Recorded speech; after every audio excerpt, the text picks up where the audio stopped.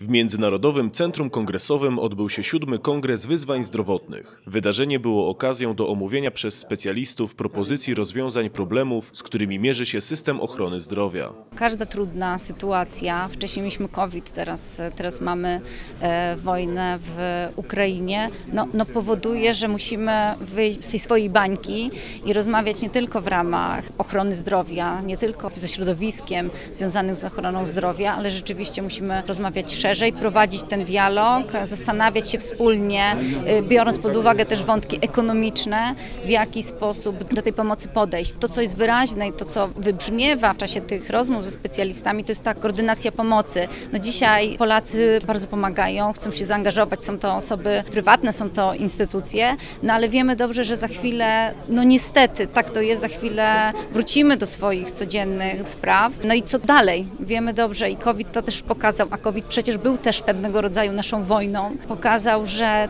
konflikty, sytuacje kryzysowe nie kończą się w ciągu kilku dni, kilku, kilku tygodni, więc przed nami wiele miesięcy, e, wiele miesięcy pomocy, e, na którą musimy być przygotowani, którą musimy dobrze skoordynować. Z perspektywy branży wyrobów medycznych takie kongresy są bardzo ważne.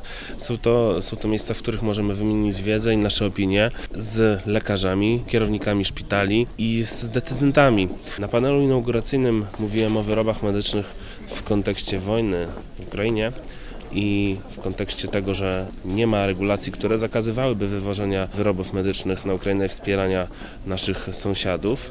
E, to były takie wskazówki dla darczyńców potencjalnych, ponieważ dostajemy takie zapytania i wyroby medyczne może kupić każdy nie ma potrzeby zakupów przez hurtownie czy też apteki. Drugim elementem, o którym mówiłem, było to, że wyroby medyczne z uwagi na wojnę, z uwagi na pandemię, napotykają się z e, takimi technicznymi problemami, jak wzrost cen surowców, wzrost cen transportu, który jest bardzo duży. Cena transportu, kontener kosztował jeszcze dwa lata temu 4 tysiące dolarów, teraz kosztuje 20 tysięcy dolarów.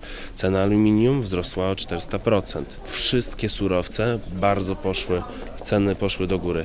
Więc musimy po prostu systemowo, patrząc ogólnie systemowo, dokładać do systemu finansowania wyrobów medycznych, ponieważ one są bardzo podatne na wzrost cen e, surowców i inflację. Chodzi o to, żeby po prostu pacjenci nie musieli dopłacać więcej do wyrobów, a żeby rząd e, niwelował te różnice. W trakcie tegorocznej edycji kongresu odbyło się ponad 40 sesji, debat, wykładów i prezentacji dotyczących różnych obszarów systemu ochrony zdrowia.